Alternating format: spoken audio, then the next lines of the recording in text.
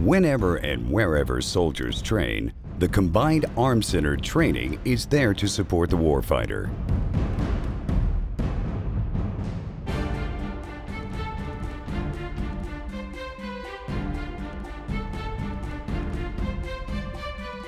Headquartered at Fort Leavenworth, Kansas, CAC-T develops training requirements, fields training systems, delivers leader training, and sustains training capabilities.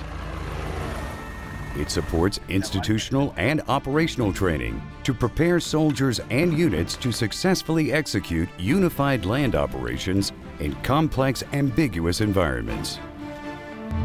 CAC-T secures funding to improve and maintain more than 6 million acres of training land and all-range complexes around the world. It identifies the requirements for training aids, devices, simulators, and simulations to make sure soldiers get what they need. And then, CAC-T ensures that nearly 1 million training aids, devices, simulators, and simulations are at the right locations for successful training events. It assists 34 training mission complexes where active duty, reserve, and National Guard units prepare to meet the demands of the operational environment. The Army's most intense unit exercises take place at the combat training centers. CAC-T manages the modernization of the three maneuver CTCs, where 100,000 soldiers trained last year. CAC-T sustains training that touches all ranks. Each year, thousands of soldiers learn marksmanship on weapons qualification ranges. CAC-T also runs brigade, division, and corps warfighter exercises that sharpen senior leaders' mission command skills. Last year, those warfighter exercises trained 57 headquarters staffs. When Army leaders have questions about training, CAC-T has the answers. The Army Training Network is the one-stop online solution for training resources. The Army Training Help Desk is ready 24-7 to answer questions. Learning how to train soldiers starts with doctrine. Recently, CAC-T authored the Army's Fundamental Doctrine for Unit Training Management.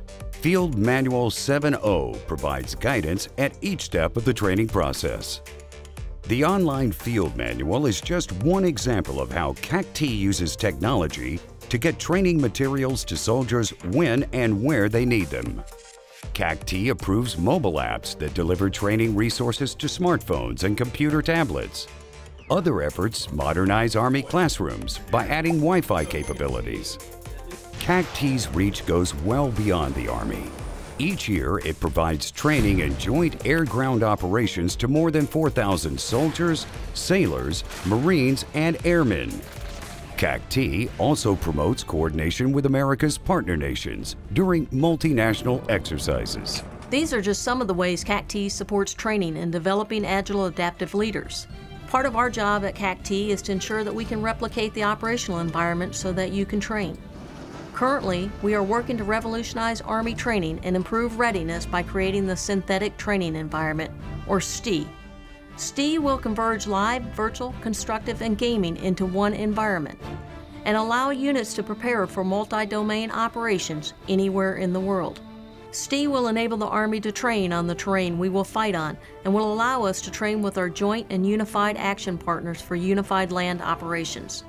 STE represents an exciting future for the Army training and shows CAC-T is always looking for new ways to support the warfighter. If you have any ideas about improving training, I want to hear from you. I am your user rep. You can email me your suggestions by visiting the CAC-T website.